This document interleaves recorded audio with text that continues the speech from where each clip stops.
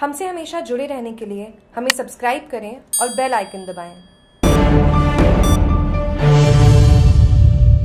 Weekend जन अनुशासन curfew में बंद रहे प्रतिष्ठान, आमजन ने किया गाइडलाइन का पालन। मंडार कस्बे के संपूर्ण देश में कोरोना वायरस की तीसरी लहर का असर, राजस्थान सहित सिरोही ज़िले के मंडार में भी दिखी। तीसरी लहर में राज्य सरकार द्वारा जन अनुशासन कर्फ्यू के दौरान, मंडार कस्बे के प्रतिष्ठान भी बंद रहे एवं बाजारों में सन्नाटा नज़र आया। आवश्यक सेवाएँ जिनमें मेडिकल स्टोर दूध, डेयरी, सब्ज़ी दुकान को छोड़कर अन्य प्रतिष्ठान रहे बंद, कोरोना महामारी दिन प्रतिदिन तेज़ी से अपना असर दिखा रही है।